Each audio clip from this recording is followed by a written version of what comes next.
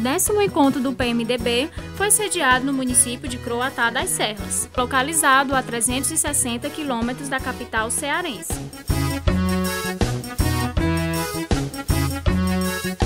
O prefeito Antônio Onofre ressalta a importância do encontro para a cidade. Tanto no governo do estado, no governo federal, estou sempre no gabinete do senador, estou sempre junto com ele e ele está ajudando e eu tenho certeza que eu sou PMDBista histórico, ele vai ajudar muito mais. O evento contou com mais de duas mil pessoas, entre elas prefeitos, vereadores, deputados e outros líderes políticos.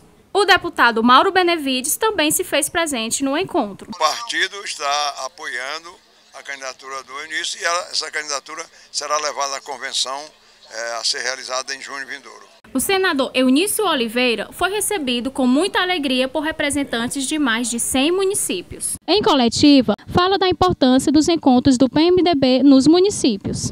Sinto hoje a felicidade de poder dizer aqui em alto e bom som né, que a população brasileira acordou e viu que uma democracia as pessoas não têm só obrigação, as pessoas não só pagam impostos, as pessoas têm direito à saúde pública decente, as pessoas têm direito à educação, têm direito a transporte, têm direito a gerar, a ter segurança, emprego e, por que não dizer, as pessoas têm direito de, de serem felizes no lugar onde elas nasceram.